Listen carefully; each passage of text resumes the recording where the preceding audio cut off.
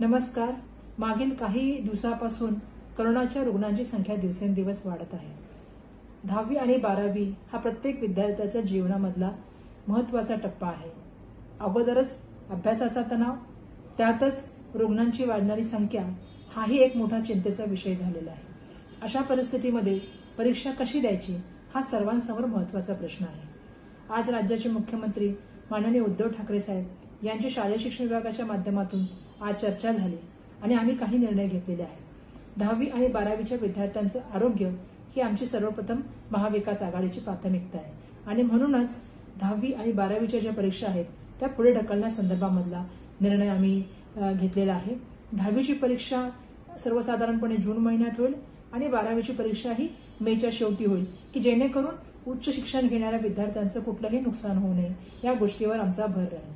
ही चर्चा करत असताना मधील काळामध्ये सर्व लोकप्रतिनिधी त्या ठिकाणी असलेले शिक्षक विद्यार्थी पालक मुख्याध्यापक टीसीएस गुगल यांनी सुद्धा यामध्ये मोठ्या प्रमाणामध्ये आम्हाला ज्या सूचना दिल्या होत्या त्या आम्ही माननीय मुख्यमंत्री महोदयांना सांगितल्या.